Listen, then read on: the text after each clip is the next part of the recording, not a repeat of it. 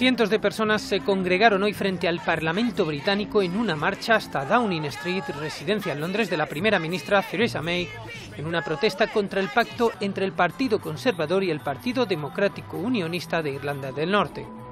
Tras perder este jueves la mayoría absoluta en las urnas, Theresa May anunció que tratará de asegurarse el apoyo de los protestantes norirlandeses, que son contrarios al aborto y el matrimonio homosexual que cuentan con un gran número de escépticos del cambio climático entre sus filas.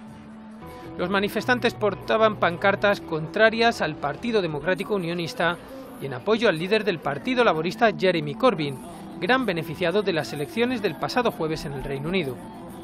Los laboristas de Jeremy Corbyn obtuvieron en las elecciones generales del jueves 262 diputados en la Cámara de los Comunes, lo que supone un incremento de 30 escaños respecto a los comicios de 2015. Por su parte, el Partido Conservador de Theresa May sumó 318 escaños, lo que supone 8 por debajo de la mayoría absoluta, por lo que necesita buscar apoyos para formar gobierno y aprobar leyes en el Parlamento.